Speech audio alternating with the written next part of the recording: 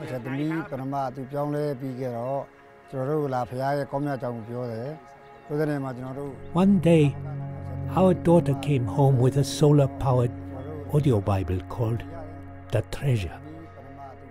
After listening to it for a while, she accepted Jesus into her heart. She was the only Christian in our entire village. We were upset that she had become a Christian. We were devout Buddhists. We didn't understand why she had turned away from her Buddhist faith. She would play the treasure, and we would hear it.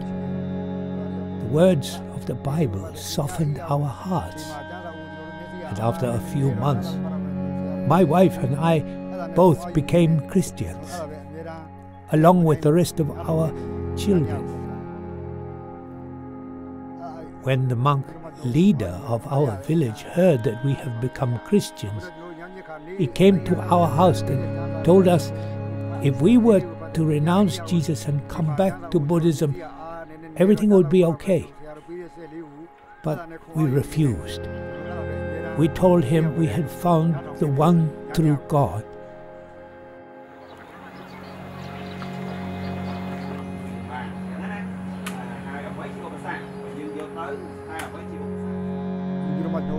The next night, the monk brought us in front of the entire village.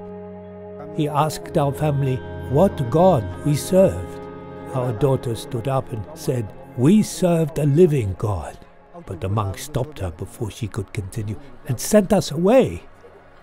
The following day, we noticed trucks leaving piles of rocks all around our house, and we did not know why. Someone had told us it was to repair the roads, but at that night we truly found out why.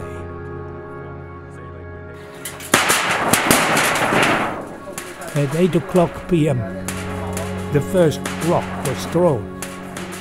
The rock flew through our window and landed on the floor.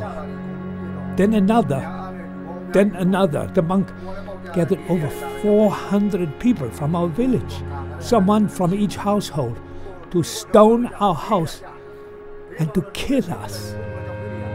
For four hours this continued. My wife and I huddled around our children and prayed to God to protect us. We could hear the villagers yelling at us from outside If your God is so great, then He will save you. The next morning, we could hear the villagers shouting, Did your God save you? As they were laughing. They came back ready to drag out our bodies, but when we heard them, my wife and I and our children walked out. They couldn't believe that we had survived. The monk was furious and he cast our family from the village. He said they would kill us if we ever returned. Now, even the villagers that tried to kill us are curious about this Jesus that saved us. We share with them the love of Christ, and many have accepted Christ into their own hearts. Our family and others that have chosen to follow Christ and listen to the treasure. It gives us hope and the strength to stand up for what we believe in.